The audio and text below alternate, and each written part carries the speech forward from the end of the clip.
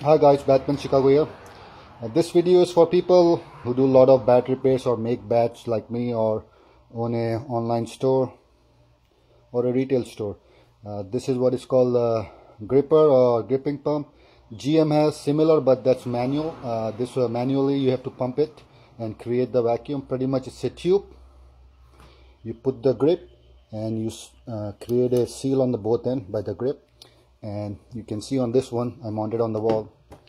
There is a hose going on to the pump. One end is to the pump one end goes to the tube and it suck all the air out and create a vacuum and I will show you how it works. So this pump I bought it from uh, Smart Technologies. They also do uh, they also manufacture knocking machines and all kind of stuff. So pretty much it comes with a pump and three different size tube one or two or three grips this one is three grips I mounted on the wall because with three grips you can put one, two or three, it doesn't matter. It's good for all. So rather than switching between one, two and three, I just put the three on the wall. There is the switch. And it's a foot switch I mounted on the wall because it's easier for me.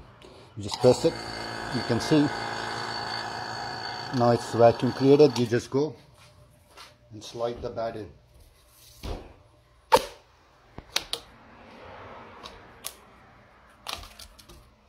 And done that's how long it takes uh, me for putting a grip on